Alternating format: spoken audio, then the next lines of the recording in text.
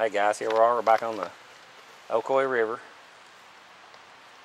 Fishing for for crappie. Now I just missed one. And I'm using a spinning rod and reel setup, four pound line. Uh, using a Bobby Garland baby shad. And I've got it about three feet behind a, a float, weighted float. Give me a little distance on my cast. And there's a fish. And uh, of course, spinning rod and reel setup.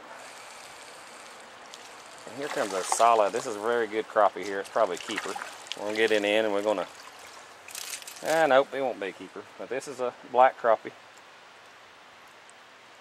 And this will be number 21 on the list. Black crappie off of Bobby Garland Baby Shad.